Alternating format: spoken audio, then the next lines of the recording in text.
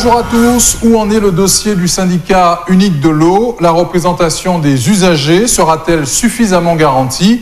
Pourquoi cette affaire n'avance pas plus rapidement? Germain Parent, le président du comité des usagers de l'eau en Guadeloupe, est l'invité de questions sans détour. Germain Parent, bonjour. Bonjour. Merci d'être venu jusqu'à nous dans les studios de TV. Avec les autres groupements d'usagers, vous avez souhaité faire le point sur ce dossier suite à votre rencontre avec le président de, Cap Excellence. Euh, quelles avancées percevez-vous, franchement? Rien du tout. On avance euh, en soi-même, on tourne, on se mord la queue. Et jusqu'à maintenant, je reprends la phrase que je dis toujours, 36 ans après la, la loi de la décentralisation pour se mettre d'accord, pour se dire bonjour, et aujourd'hui, vous voyez bien qu'il y a des absents ça veut dire qu'il y a encore matière à ne pas se comprendre. Ils ne parlent pas la même langue entre eux et ça ne peut pas avancer. Oui, mais nous, avons quand même le sentiment de n'avoir jamais été aussi proche de la création de ce syndicat unique de l'eau. On veut faire, mais on ne, peut pas, on ne peut pas vouloir faire à sa façon.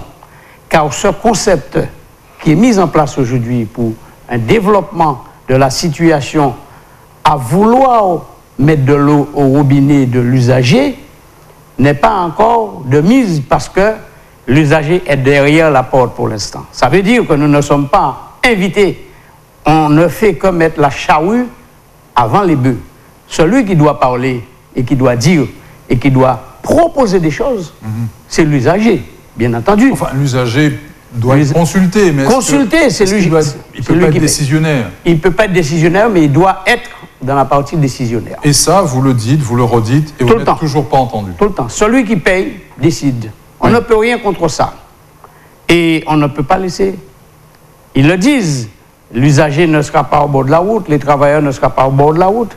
Mais avant tout, c'est l'usager qui paye, c'est le vache à lait. Mhm. Et nous nous disons qu'avant toute consultation autre, devrait consulter les représentants d'usagers, tous confondus, toutes les associations, ne laisser personne au bord de la route, de manière à ce qu'ils précisent qu'on ressent l'usager sur le terrain. Nos mères et nos pères de famille qui sont dans un déclin, défavorisés, qui n'ont pas d'eau, qui reçoivent des factures, qui ont des problèmes.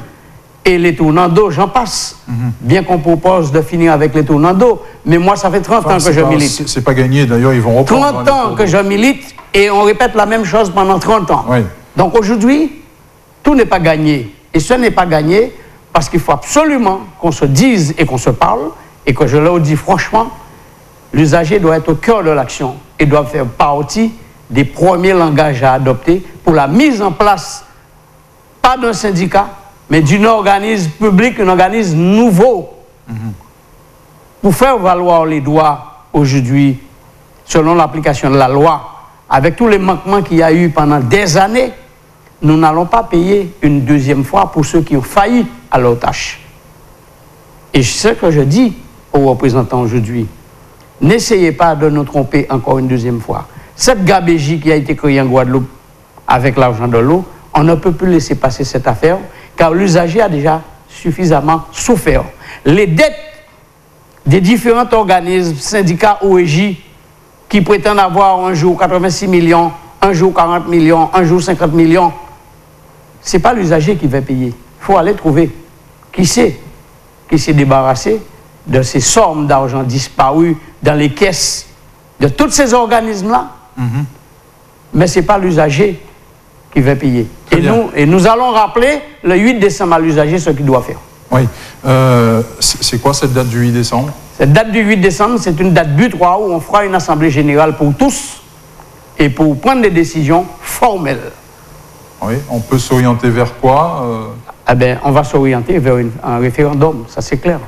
On ne peut pas continuer à attendre sous les uns et sous les autres que le langage de l'un, que le langage de l'autre ne correspondent pas et que nous nous sommes là à attendre, à attendre et qu'on nous dise encore une fois pour tous, il y a 36 ans, 40 ans que cette situation perdure. Écoutez-moi bien, cette situation perdure. Une mauvaise canalisation, une eau mal gérée, de l'argent qui disparaît, certains qui, disparaissent euh, euh, à tout bord et, qui ne savent pas où est passé l'argent, nous, nous voulons nous pencher vraiment sur cette affaire et que la justice tranche dans cette affaire. Parce que il faut savoir une chose. Nous avions déjà eu des personnes disparues avec des factures antérieures qui reçoivent avec des 30 000 euros, des 20 000 euros. Et ça fait mal mhm. quand on entend une mère de famille dire Qu'est-ce que je vais faire pour payer cette somme? Or qu'elle n'avait pas de l'eau pendant des jours et des jours. Et je peux vous dire que la provocation d'acheter de l'eau en bouteille, ça coûte cher à l'usager. Parce que c'est 5 millions d'euros d'eau en bouteille qui arrivent sur notre territoire. Et c'est une deuxième pollution provoquée dans notre nature, en rivière, au bordure de mer, dans nos terres. Parce que les bouteilles plastiques, ils y vont où? Il faut qu'on nous dise aussi ça. Évidemment. Donc en attendant que toutes les déclarations d'intention, les promesses, etc., en attendant que ça se concrétise, euh, ben, les tours d'eau euh, reprennent Ça continue. Alors que c'était prévu 71 millions et, que dans deux ans, c'était arrêté. Vous dites... Euh, les deux ans sont échus, les tournants d'eau continuent. Donc ça voudrait dire que c'était du bluff. Mhm. Et les 71 millions disparaissent, ont disparu, et qu'on va redemander encore à l'usager de payer 71 millions à nouveau. Et ça continue.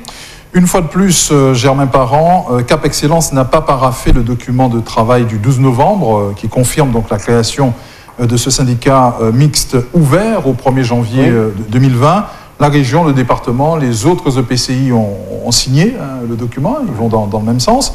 À quoi ajoute-t-on un cap excellence selon vous? Je ne sais pas. Tout à fait. Moi, je peux répondre que c'est cap excellence parmi toutes les organisations qui nous a invités et que je n'ai pas fait de chaise vide. Je suis allé sur place écouter et pour voir.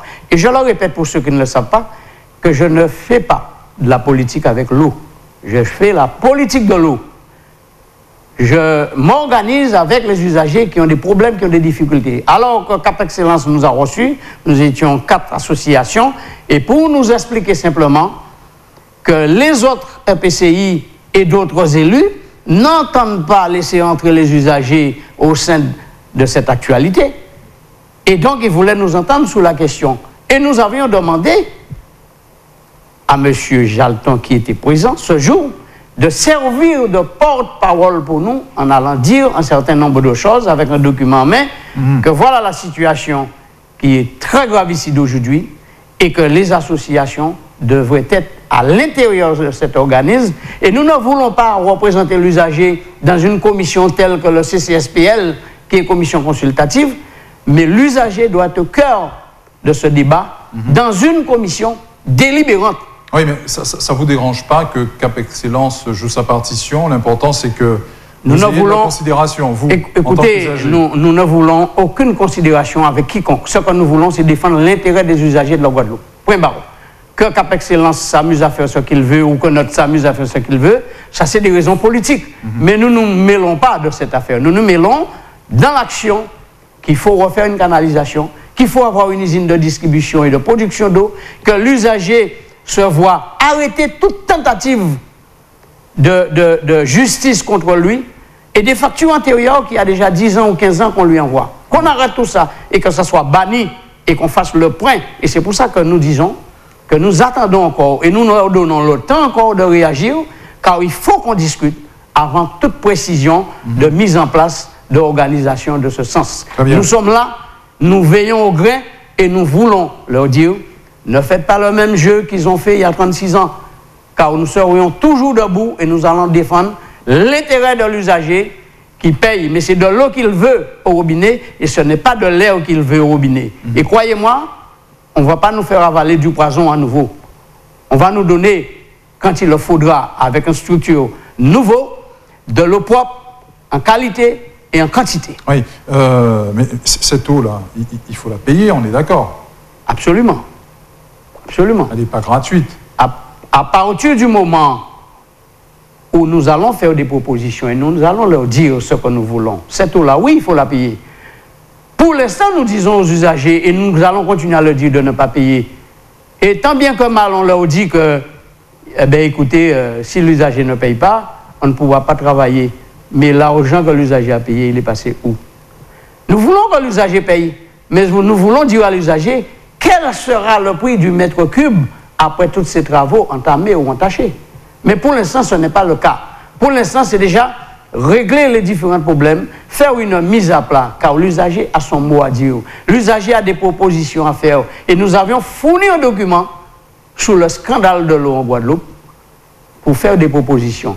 Et ces propositions, c'est sur la table de tout un chacun. Mhm. Et nous avions encore, en plus, aller plus loin. En février 2019, nous avions mis un préalable sur la table lors d'une réunion en préfecture en leur disant, mhm. pour qu'on discute de cette affaire, il faut mettre à plat les choses. Germain Parent, on critique beaucoup les élus locaux. Là, pour le coup, ils se donnent les, moyens de, faire avancer ce dossier, il faut l'admettre quand même. C'est bien. Est-ce qu'il ne serait pas temps d'arrêter de taper sur nos élus? Mais on ne fait pas que taper sur les élus. On leur dit, ne faites pas l'erreur que vous avez fait il y a 36 ans. On leur dit, mettez-vous d'accord aujourd'hui à la même table pour pouvoir travailler ensemble, mais avec des gens qui seront à côté de vous pour vous aider. Parce que nous voulons leur servir d'aiguillon. Nous leur disons, mettez les socioprofessionnels avec vous. Mettez les travailleurs de l'eau avec vous parce que c'est eux qui eu toute la journée. Mettez les représentants d'associations. Vous n'êtes pas en train de nous dire que nos élus sont incapables là, Non, pas du tout. Ils sont, non, ils ont une mission. D'accord. La mission de l'eau, c'est le leur. ils doivent s'entourer de gens. Ils doivent s'entourer de gens compétents et ne pas écouter les bavardeurs qui leur dirigent dans la mauvaise direction. Parce qu'eux aussi, ils ont des gens à côté d'eux qui ne savent pas leur aiguiller dans de bonnes conditions là où il faut. Ils ont pris la mauvaise route. Et ce sont certainement des responsables à côté d'eux qui leur disent qu'il ne faut pas faire comme ça, il faut faire comme mhm. ça. Mais non, parce qu'il faudrait qu'ils connaissent le terrain. Mais quand on fait des choses sans l'usager, c'est mal connaître le terrain. Il faudrait se réveiller un matin à 5 heures et aller voir les mères d'enfants qui n'ont pas d'eau, comment c'est chez eux. Les WC remplis, les lavabos remplis, la canalisation qui n'a pas d'eau, et tout le monde court, de la mauvaise odeur. il y a un véritable problème de santé en Guadeloupe-Jodela. Et j'en veux même pas entamer le problème des différentes stations d'épuration qui est déversée dans la nature, en pleine ville et partout dans nos terres et nos jardins, ça coûte beaucoup. Et c'est trop pour la Guadeloupe aujourd'hui. Il faudrait que cela s'arrête. Comment jugez-vous l'action du préfet dans ce dossier? Vous dites euh, vive le représentant de l'État, c'est lui le patron Non, je ne dis jamais vive le représentant de l'État, car l'État aussi n'avait pas fait son boulot au moment où il le fallait. Si aujourd'hui l'article 1 de la Constitution a vu le jour en Guadeloupe, c'est certainement suite à notre demande. Parce qu'il faut faire fonctionner l'État dans ce pays-là, puisque nous sommes dans un pays de droit où l'État a mis les pieds dedans. La Guadeloupe est sous tutelle de l'État. Et donc, à partir du moment où l'État investit, il met de l'argent, nous leur disons que vous étiez aussi responsable. Et nous leur pointons du doigt que vous n'avez pas assumé votre rôle, vous auriez dû faire la police de l'eau, où vous êtes missionné pour. Et si l'État avait mis le pied dans, le, plateau au moment où il fallait, on serait certainement pas là aujourd'hui. Donc je n'encourage rien du tout. L'État fait son job, il fait son travail. Je n'ai pas à dire qu'il fait bien ou qu'il fait mal. Ce que je dois dire, c'est qu'ils n'ont pas fait quand il fallait leur boulot, comme les élus que je ne veux pas non plus donner des coups chaque fois pour leur dire qu'ils n'ont pas fait non plus leur boulot. Je dis qu'aujourd'hui, il faut changer la donne. C'est un concept qu'ils doivent mettre en place et inviter les gens qu'il faut, qu'ils ont les capacités, qu'ils ont les moyens et qui connaissent aussi le problème de l'eau Guadeloupe, qui connaissent le réseau. Il ne s'agit pas de faire de la politique et avec la langue de bois. Je crois bien qu'aujourd'hui, on doit parler sincèrement et on doit dire des choses et ne pas cacher une partie. Maintenant, ceux qui ont détourné des fonds qui ont créé cette gabégie, c'est à la justice de s'en occuper, ce n'est pas moi.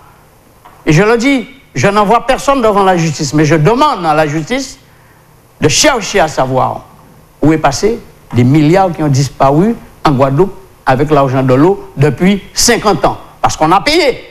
On a payé des taxes, on a payé des taxes fixes, on a payé des abonnements, on a payé etc. de choses. L'État a mis de l'argent. C'est vrai que le département a mis, la région a mis, tout le monde a mis. Mais ce n'est l'argent de personne qu'on met. C'est l'argent du contribuable qu'on utilise à bon escient pour faire tomber dans des caisses de certaines collectivités qui ont failli à leur mission et qu'on veut résorber leur déficit aujourd'hui avec. Mais l'usager n'a pas à payer pour aujourd'hui. Très bien.